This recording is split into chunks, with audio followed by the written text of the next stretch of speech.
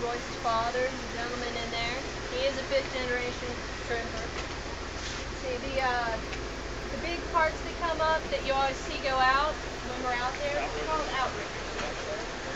And they actually help separate the, the nets. We carry two nets. Now some boats are rigged to actually carry four nets, two on each side of them. So that's a lot of nets to get tangled.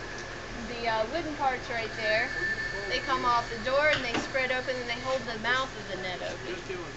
Like you'll see up here. You got two nets coming down off each side and the doors actually spread and they help hold the mouth down. See, and then this part right here is called the mouth of your net. And these floats actually help. Some nets have a tongue on them. We have different nets depending on what species of shrimp we're going for. Like the white shrimp like we have now, they actually have tongues because what happens is when you scare them, they jump to the surface of the water. So that helps guide them into the net. So we have floats here, and then down here, you actually have a tickler chain that's separate from the door itself. So if you see a bunch of chain on the on the boat, that's what that's for. And what happens is it just kind of does this on the bottom, and it scares the shrimp is what it does. And then right here, you have the throat of the net, and then that part right there, that metal grid you see up there, that's your turtle excluder. That's what we put in.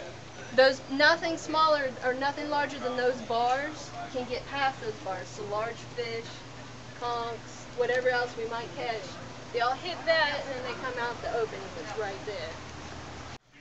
Yeah, it's it's you don't do it for money, you do it for love. Like uh, we actually laugh. A lot of people say, well, you only work three, four months out of the year. And we say, no, no, no, no. We, we work the entire rest of the year at other jobs, so we can do that. and every boat's set up differently.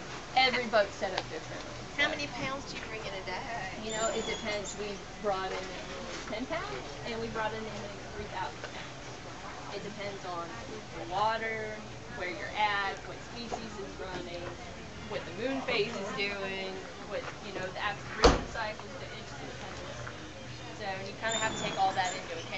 Now, usually when I see everybody trawling out here, it's uh, looks like it's in about 20 feet of water, 25 feet. Yeah, it's not very deep. Um, we keep it all separate.